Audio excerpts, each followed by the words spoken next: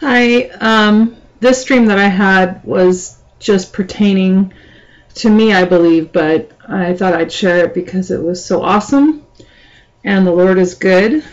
Um, I had a dream. Oh, I don't know. It has to have been like.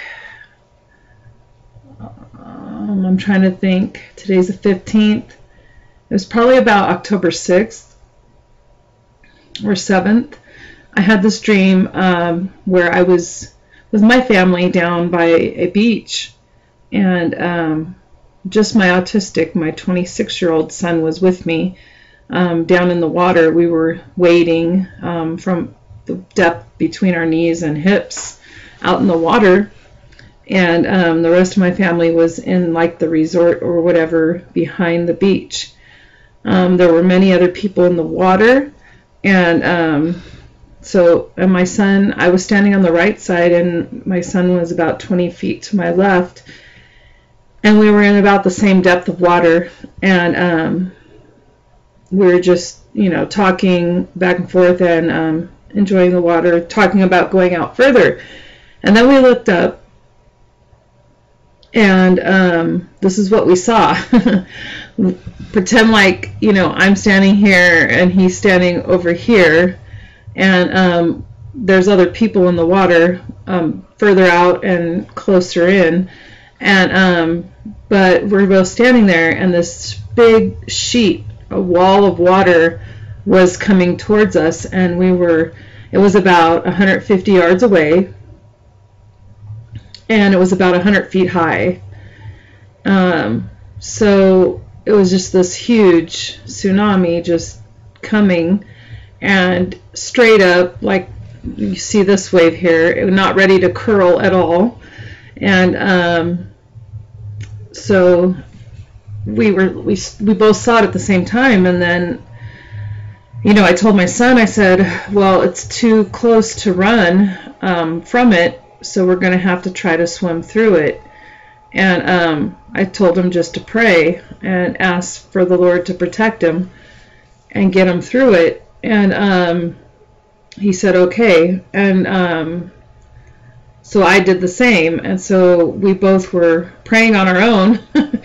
and he still was like 20 feet away. And some of the people in the water started saw it and started running, you know, towards the resort away from the wave, although there was no way they were going to have time to get away nor the people in the resort for that matter because it was so large. And um, we um, started walking slowly towards it, my, my son and I. And um, there were other people in the water that didn't even see it coming. Um, they didn't even realize they were clueless and so they were just going on about their business. Um, but my son and I were just praying for God's protection and um, for for Him to guide us and get us through it.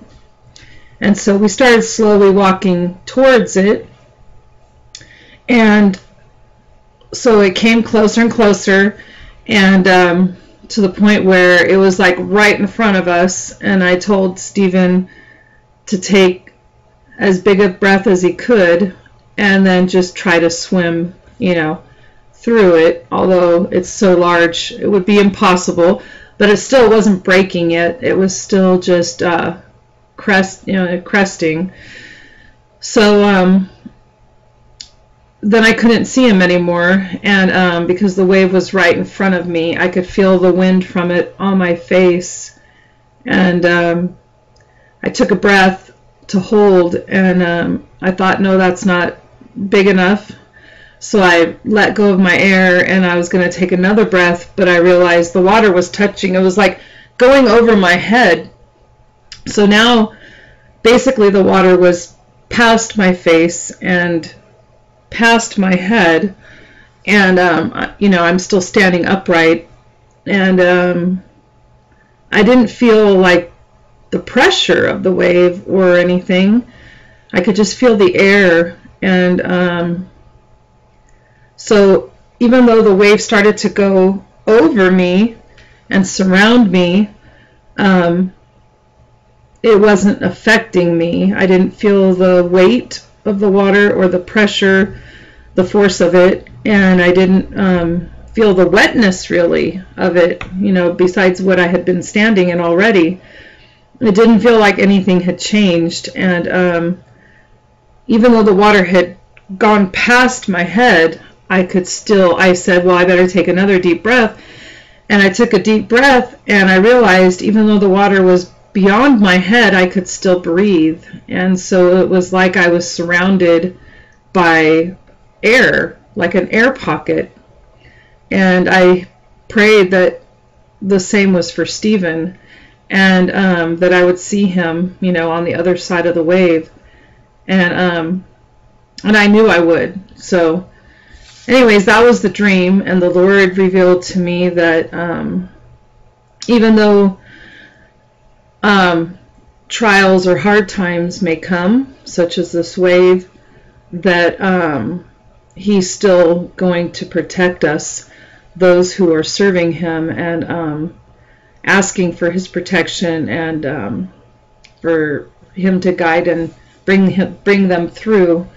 So, you know, and he will he will because he's faithful and just and merciful um, and loving to those especially that serve and follow him and with god all things are possible so that's what this dream showed me was that as long as i keep focused on him and not the circumstances um, that may come around me um, like those people that were running in fear as long as I remain fearless and um, and confident that the Lord will bring me through anything that comes my way, such as this wave, that um, He will deliver me and um, He'll bring me through it.